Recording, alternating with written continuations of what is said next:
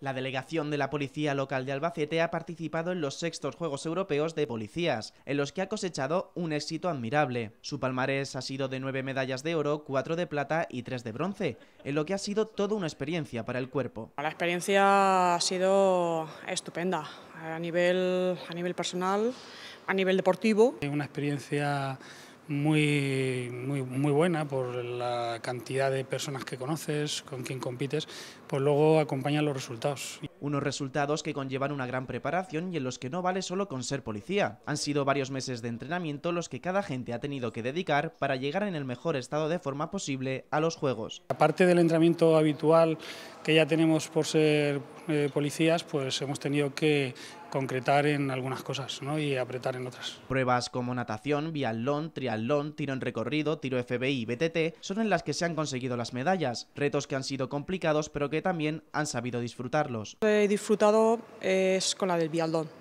puesto que es una, es una prueba que se, eh, bueno, se viene muy bien para el tema de, de la policía, como es, combinas el tiro y la, y la carrera a pie, la carrera extrema, la Extreme Running, que eh, han participado cuatro compañeros. Son 10 kilómetros y son 10 kilómetros de muchos obstáculos. Eh, entonces es una carrera dura, exigente, muy divertida y donde prevalece sobre todo el compañerismo. Esa filosofía tiene su recompensa y además de las medallas, el premio más grande es el saber que haces bien tu labor y que estás preparado para llevarla a cabo. Representar a mi, a mi ciudad, Albacete, a un trabajo a la policía local que que me gusta, pues yo creo que más no se puede pedir. Después de esta hazaña queda demostrado que la ciudad puede estar tranquila, con estos héroes que velan 24 horas por nosotros y que se mantienen en un estado de forma envidiable.